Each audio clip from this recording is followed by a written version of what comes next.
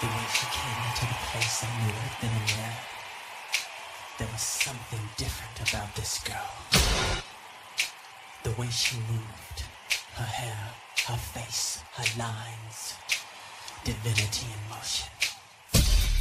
As she stalked the room, I could feel the aura